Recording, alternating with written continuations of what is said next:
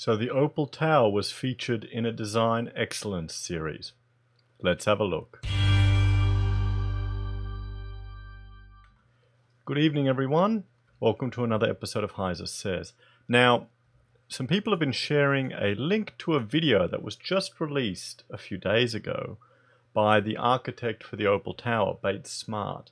And it shows a lecture, a presentation, a design presentation at an event and it's the Council on Tall Buildings and Urban Habitat. They had an event in Sydney at the Hassell office, big firm there, and the Opal Tower was featured. Now, this was from the 19th of September when the event occurred.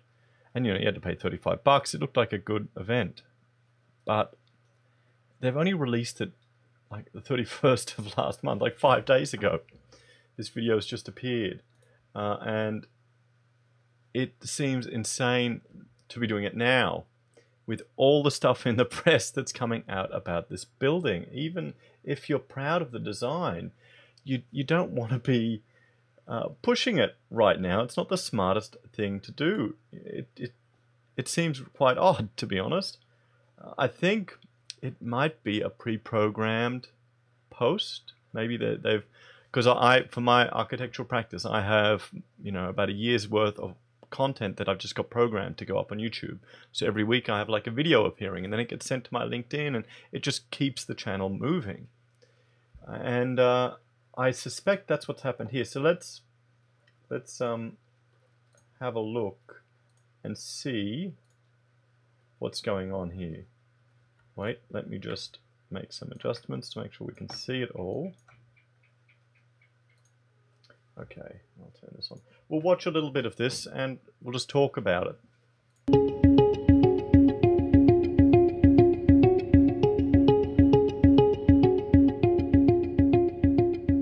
Uh, so next we have Matthew Lasser from Batesmart. So Matthew is studio director at Batesmart with over 20 years experience. His design work has re resulted in some of Bates Smart that is such a crowd of architects there. I wonder if I recognize anyone in the audience. I've got to see. It's Sydney. I know a few people that work down there. But you know, you go to these things. Look at them. None of them are holding. Oh, one wine glass. Yeah, I, I used to drink a lot more when I went to this stuff. Art's most progressive residential and commercial high rise projects and competition wins. His work includes, spoiler alert, the Opal Tower at Sydney Olympic Park, 1 Denison Street, North Sydney and the super high rise scheme for 8 Parramatta Square. He has a special interest in developing new high rise typologies with innovative residential and commercial floor plates to increase density and urbanisation, lower environmental impact, and improve the everyday life of users. Thank you, Matthew. So, I mean, it sounds good. He's got his introduction here. Um, let's watch a bit more. Thank you, Claire. Thank you very much. Um, just before I start, if I could let everyone know that uh, I've just completed three weeks of recovering from laryngitis. I don't know if my voice is going to make it through the rest of the night, but if anyone saw me sculling from a brown bottle in my shoulder bag about 15 minutes ago, I can assure you it was only cough mixture. Yeah, uh, sure, mate, sure. Um, I feel fabulous, but I don't know if it's going to hold up. Let's see.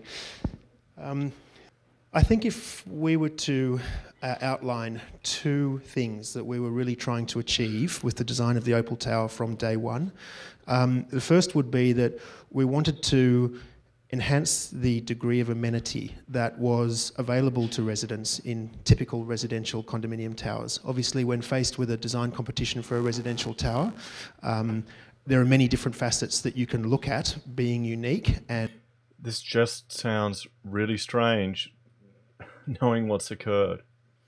In some ways, it's quite sad. They they probably should take this down and not really show it at the moment wait a few months before they put it forward because people are thinking this is a joke. They're they're they're commenting, going, "This is a joke. What's going on here?" I mean, this is a, a, typical architectural presentation. You know, he's explaining the concept, he's putting it forward, uh, but people are not in the mood to hear this.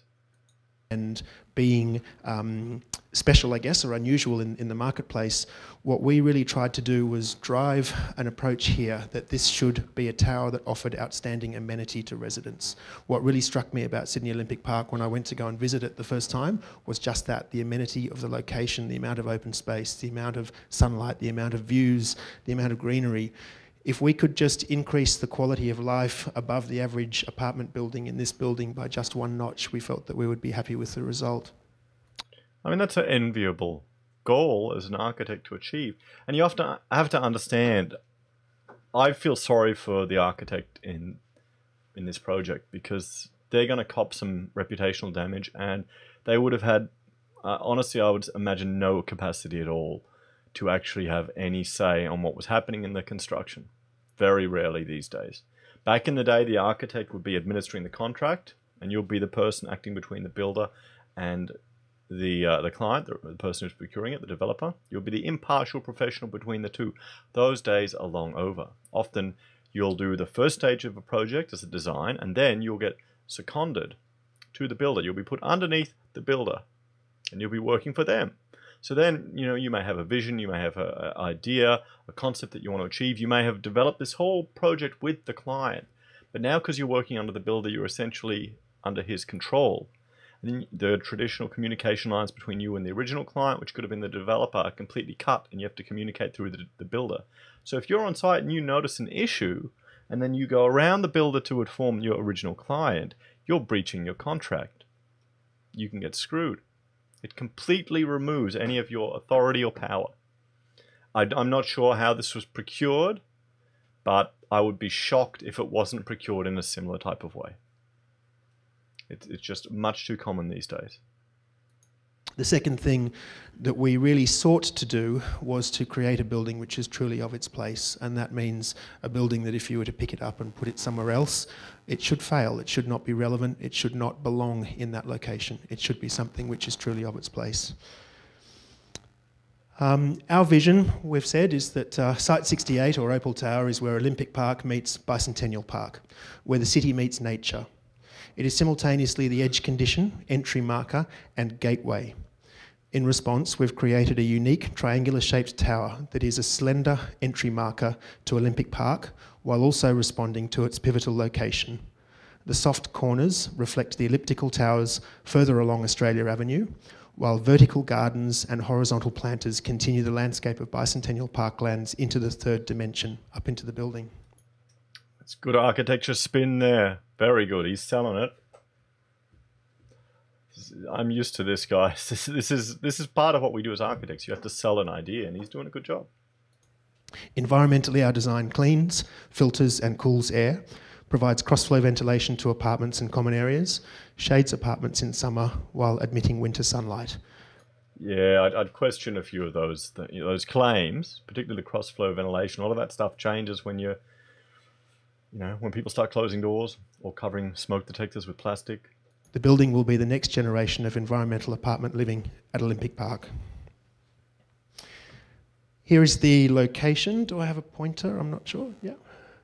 Yeah, obviously this is the site location, and what immediately struck us was the absolute panora panoramic views towards uh, the south and towards the east of the site. Um, this is Bicentennial Park; it will never be built out. Uh, you can see the Parramatta River effectively um, from from the site. Uh, this is Sydney Olympic Park in this area here, and the whole of Sydney Olympic Park has a master plan called uh, Sydney Olympic Park 2030, which envisages the large um, the, the largest proportion of this area becoming high-rise um, commercial and residential development. So what we really had was, a, a, excuse me, sorry, a building or a site that was at the perimeter of Sydney Olympic Park, um, separating Sydney Olympic Park from the bicentennial parklands. And if anyone can understand why I've just got a little nervous and stumbled over a few words, it's because I saw my boss walk in through the corridor just there a second ago, so bear with me. um, the site is also very much at a prominent corner between Australia Avenue and Bennelong Park. If you're not in architectural design, you don't know how many of these type of analysis drawings you do to get to this concept. You know, I bet you he would have sat down for hours and hours just looking at the different concepts, looking at the concept, context, developing a, an idea. It's not as easy as uh, as people think. Parkway, and it effectively represents a gateway into Sydney Olympic Park. When you arrive into Sydney Olympic Park to go to one of the main stadiums, particularly from eastern Sydney, you arrive along Australia Avenue, and Site 68 is the very first site which you come across. So, therefore, we've said that this is a gateway building and that the building itself should represent the fact that you've arrived in Sydney Olympic Park.